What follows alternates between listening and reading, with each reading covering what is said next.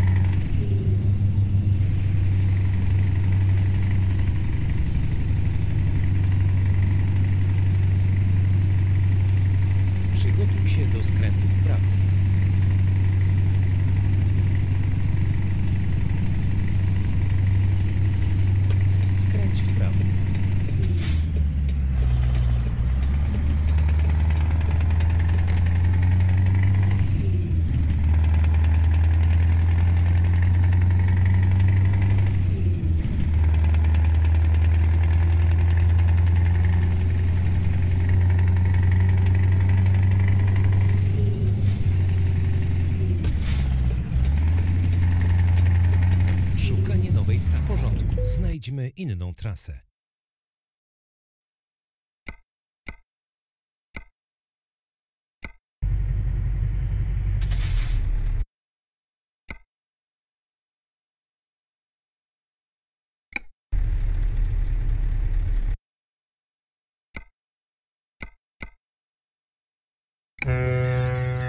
Przeliczam trasę.